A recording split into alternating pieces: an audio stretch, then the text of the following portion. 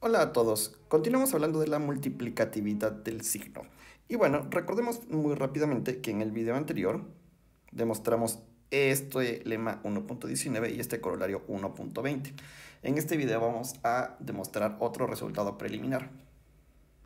Y este lema 1.21 dice lo siguiente.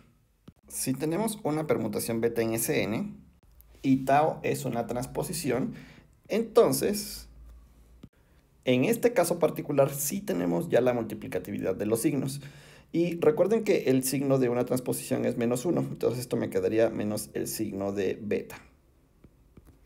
Entonces, este lema, pues como lo mencioné ya, es un caso particular del teorema general que queremos demostrar. Y bueno, esto no es trivial, amerita una demostración, así que vamos a demostrarlo. Para comenzar vamos a describir más explícitamente la transposición tau como la transposición AB y consideremos una factorización completa de beta en ciclos disjuntos. Recuerden, es completa. Y a continuación vamos a considerar dos casos. Este primer caso es cuando A y B están en alguno de los gamas que aparecen en la factorización de beta. O sea, están en el mismo gamma J. Entonces, este gamma sub j, sin pérdida de generalidad, lo podemos escribir como A, o sea, podemos poner la A al principio, y luego va a haber algunos otros elementos aquí, que los vamos a llamar CK, y luego en algún momento tiene que aparecer B, ¿sí? Este K, recuerden, puede ser 0, en caso de que A y B estén juntos, y luego, pues, el resto de los elementos, ¿verdad? De 1 hasta de L, de nuevo L podría ser 0, si es que ya no hay elementos después de la B, pero entonces gamma J se ve así, con algún K y L mayor o igual que 0. Y como se estarán imaginando, seguramente aquí es donde vamos a aplicar los lemas que anteriormente demostramos. Y entonces por el lema 1.19 tenemos, déjenme pongo el lema 1.19 en pantalla para que quede claro lo que, lo que voy a hacer. Ahí está, y ahora sí lo aplicamos y tenemos lo siguiente. Que el producto de tau con gamma sub j es igual a este producto que acabo de escribir. Y bueno, ahora sí ya puedo eh, quitar el lema 1.19 y continuamos. Y entonces lo que podemos observar es que entonces esto de aquí, o sea, sí, a ver, ¿qué es lo que estoy haciendo? Estoy tomando, aquí debería ir el gamma j, pero en vez de ponerlo aquí, lo pongo al principio, pues porque todos los gamma i's conmutan por c permutaciones disjuntas, y luego asocio el gamma j con el tau, que es el que aparece aquí, justamente, y entonces esto de aquí va a ser una factorización completa en ciclos disjuntos. Uno se puede convencer de eso porque cada elemento del conjunto 1 hasta n pues aparece exactamente una vez en cada uno de los de, esta y los gamma, gamma is. Así que esto es una factorización completa en ciclos disjuntos. Pero no solo eso, sino que además tenemos un ciclo extra, ¿verdad? Porque esto que está aquí en paréntesis, que ahorita estoy así como resaltando con una llave, pues en realidad tiene dos ciclos, ¿verdad? O sea que en esta factorización no tengo nada más t ciclos, sino que tengo t más un ciclos. Así que por definición, pues el signo de tau beta es igual a menos 1 a la n menos el número de ciclos. Pero como les dije, este número de ciclos es eh, t más 1 y entonces esto es igual a esto que acabo de escribir en la pantalla, que esto a su vez es igual a menos, menos 1 a la n menos tau, pero esto a su vez es menos el signo de beta, ¿verdad? Por definición. Y entonces este caso lo terminamos aquí. Y ahora vamos con el caso número 2. Y es cuando A está en algún gamma i y B está en otro gamma j.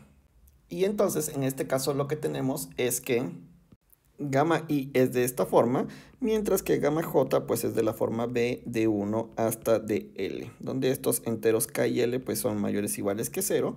Y bueno, en este caso lo que tendríamos es que tau beta es igual a tau gamma i gamma j, y luego los demás gamas, ¿verdad? Y ahí están los demás gamas, ¿sí? O sea, aquí es donde debería de ir gamma i y aquí es donde debería de ir gamma j. Y ahora vamos a ocupar el corolario 1.20 que voy a poner en la pantalla. Y ahí está el corolario y ahora lo vamos a aplicar. Y lo que tenemos es que tau gamma y gamma j pues es igual a este ciclo de aquí. Y ahora sí nos despedimos de nuestro corolario 1.20, ya nos fue útil, hasta luego. Y pues entonces lo que tenemos es que este de aquí, ¿sí? ¿Ya vieron? Es un solo ciclo, es este ciclo. De manera que entonces ahora la factorización esta, que es una factorización nuevamente en ciclos disjuntos como en el caso anterior, es una factorización con un ciclo menos.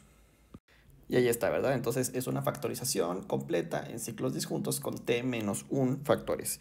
Y entonces, igualito que en el, que en el este caso anterior, pues lo que tendríamos es que el signo de tau beta, pues ahora sí es igual a menos el signo de beta, que es justamente lo que queríamos demostrar. Y aquí acaba nuestro segundo caso, y por lo tanto aquí acaba la demostración de nuestro lema 1.21.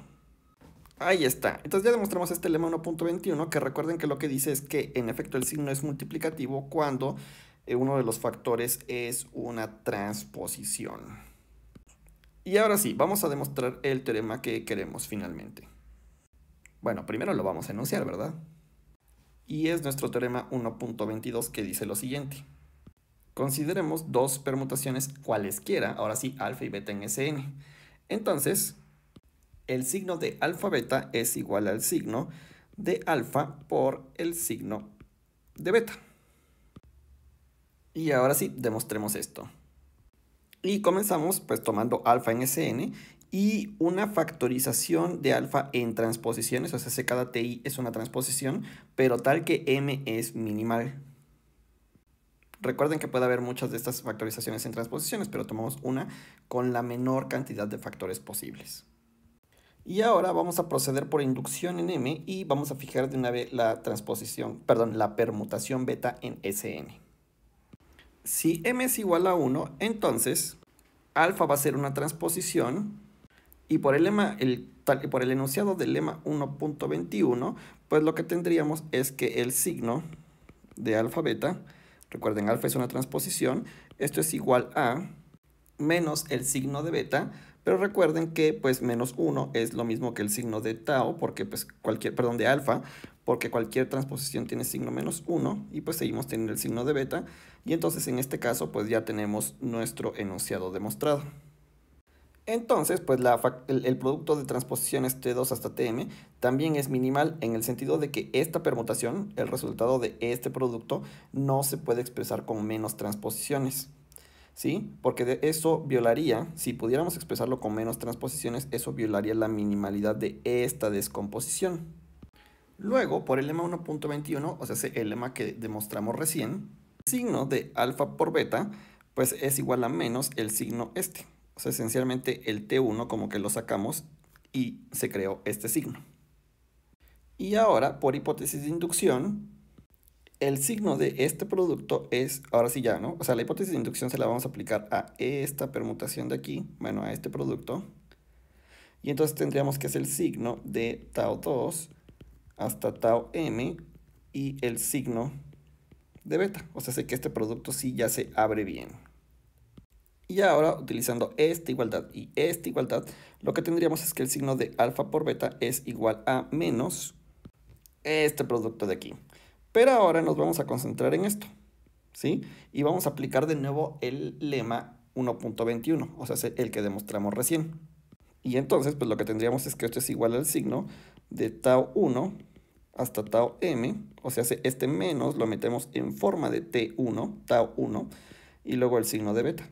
Pero esto de aquí adentro, pues ya es alfa.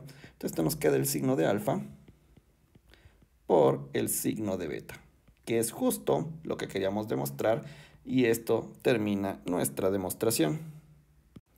Y bueno, ya tenemos el teorema prometido de que el signo de un producto es el producto de los signos. Y esto quiere decir que esta función signo eh, pues cumple las leyes de los signos, ¿verdad?